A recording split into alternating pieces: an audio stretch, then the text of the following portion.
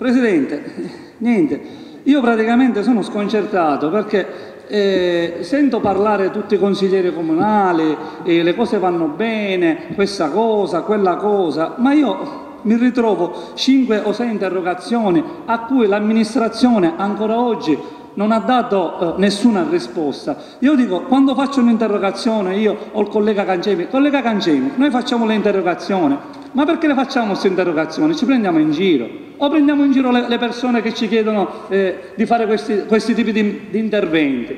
Ma l'amministrazione vuole rispondere a qualche... Ma io non lo so.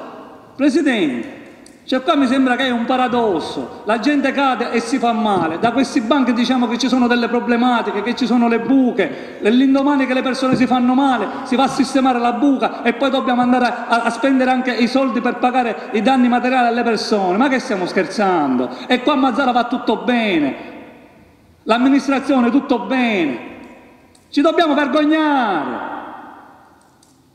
C'è una, una, città allo sfacelo, la via Bessarione, è un colabrodo. Ora che viene l'estate, come dobbiamo fare? Come, come li accogliamo i turisti? E diciamo che abbiamo la città a sfondo turistico, che dobbiamo vivere di turismo. Questo è il turismo che dobbiamo fare. Che la città è vivibile, Presidente. Io mi vergogno di essere mazzarese. Grazie. A me dispiace che il consigliere Burzotta abbia utilizzato un, dei termini così mh, molto irruenti, io capisco la sua rabbia, però io ritengo che qui, quando siamo in aula, almeno io cerco di dare tutte le possibili risposte che, che eh, si possono dare. Eh, a volte uno non può dare una risposta perché non c'è una risposta, bisogna attendere, i tempi sono questi.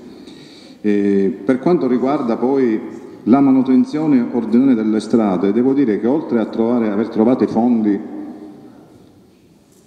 stamattina Consigliere, che consentiranno di ripristinare che consentiranno di ripristinare il litorale della Tonnarella e quindi portarlo diciamo, a norma. Abbiamo anche trovato delle risorse economiche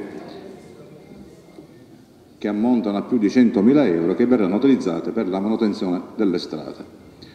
Ma manutenzione delle strade non significa eh, coprire la buca, cioè fare dei lavori di manutenzione appunto a regola d'arte per evitare che giustamente molti cittadini purtroppo eh, a causa delle buche presenti nella città subiscono degli incidenti.